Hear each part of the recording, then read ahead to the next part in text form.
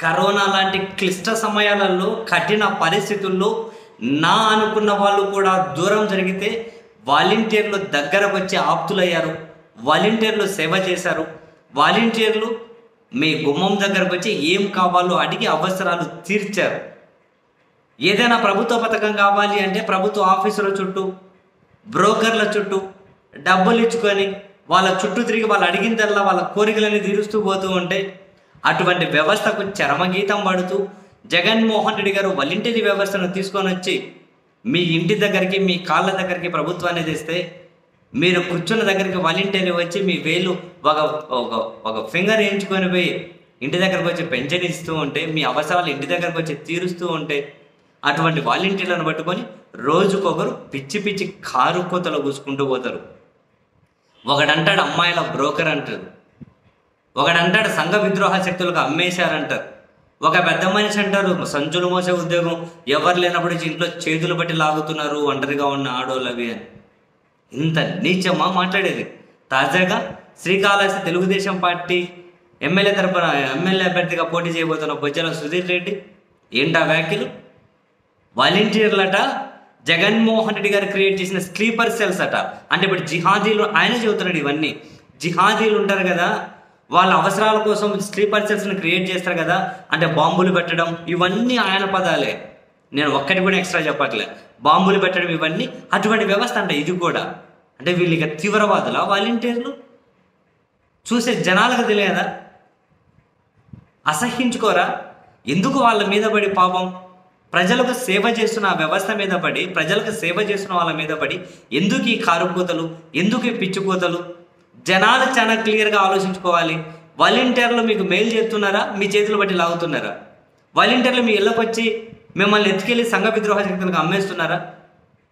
వాలంటీర్లు మీ మీద అత్యాచారాలు చేస్తున్నారా? జనం ఆలోచించుకోవాలి. వాళ్ళు అంటున్నారు అంటే ఇవన్నీ అనే వాళ్ళ అధికారంలోకి వస్తే వాలంటీర్ సిస్టమ్ తీసేస్తామని దాని అర్థం.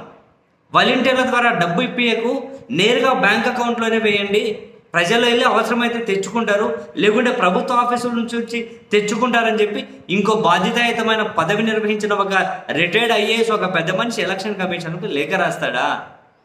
వాలంటీర్ సిస్టమ్ తీసేయండి అని చెప్పి కోర్టులో కేసులు. ఇప్పుడేమో ఏకంగా తీవ్రవాదులు అనేశారు.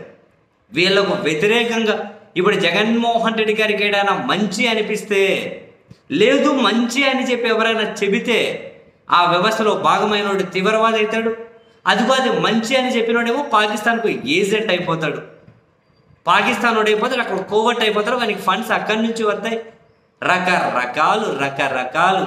ఇంత హీనమైన మాటలు మాట్లాడాలని తీవ్రవాదులు వాళ్ళు స్లీపర్ సెల్స్ వాళ్ళు బాంబులు పెడుతున్నారా వాళ్ళు ఇంత పదాలు పడాలా వాళ్ళ మీద? ఇంత అన్యాయంగా మాట్లాడాలా వాళ్ళ మీద? ఇంత అన్యాయంగా మాట్లాడాలా? కడుపున పట్టిన కొడుకు కడుపున పట్టిన బిడ్డలు కూడా కొందరిని చూడక వదిలేస్తూ ఉంటే వాలంటీర్ వెళ్ళి చెయ్యి పట్టుకొని అవసరాలు తీరుస్తున్నారు. ఏ పడుకున్న దగ్గరికి వెళ్ళి నిద్రలేపి పెంచడి ఇచ్చేస్తున్నారు. ఎక్కడన్నా చూసారా ఈ వ్యవస్థలు మరి అటువంటి వాళ్ళను పట్టుకొని అమ్మాయిలను అమ్మేసే బ్రోకర్లు అన్నారు. సంఘ విద్రోహ శక్తులకు అమ్మేస్తారంటారు. ఎవరు లేనప్పుడు ఆడవాళ్ళ చెయ్యి పట్టి లాగుతారంటారు. ఇలా లేదు. అనకూడదు కానీ కొన్ని కొన్ని మాటలు. ఇప్పుడు ఈయనేమో తీవ్రవాదులు టెర్రరిస్టులు స్లీపర్ సెల్స్ జిహాదీలాగా బాంబులు పెడతారు.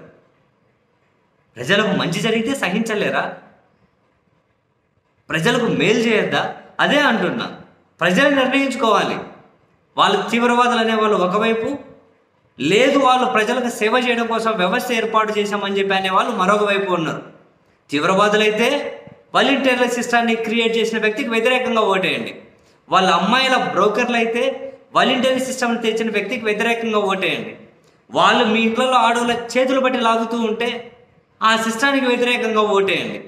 ఏదో ఎదురు వాళ్ళు వస్తే తీసేస్తామంటున్నారు.